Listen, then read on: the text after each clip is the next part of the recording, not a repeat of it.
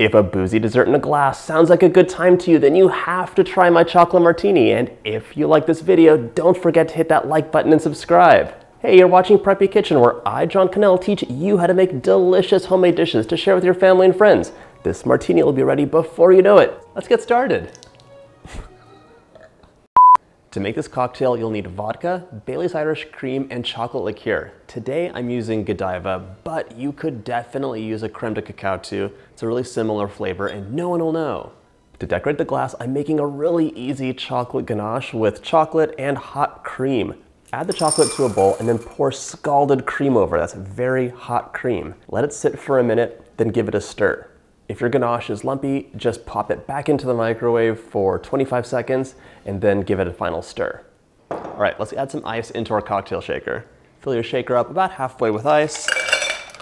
And now four ounces of vodka, in you go. Two ounces of Bailey's Irish cream. And now two ounces of Godiva. This will make a generous sized drink so you'll have enough for a glass and maybe a little bit extra too. There's nothing wrong with a top off cap on, and time to shake it up really well.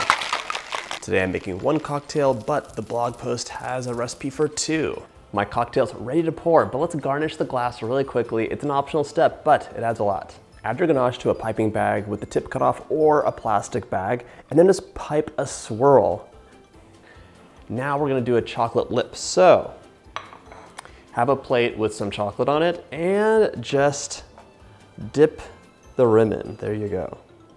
This is the part that you're actually gonna taste, so don't skimp. Ready to pour. In you go. Look at that amazingness. This cocktail's ready to drink, but no one will say no to a little bit of extra shaved chocolate on top. Shaved chocolate is the perfect garnish, but mind your fingers, it's actually better to have a thicker piece of chocolate than this, so get a big block. Use a knife and shave it downwards. Do not try and cut into the chocolate, you're shaving it just like you would your skin. If you want more of a chocolate curl, break out a hair dryer or a heat gun. Just hit the chocolate for a moment and then give it a shave and you'll have beautiful curls.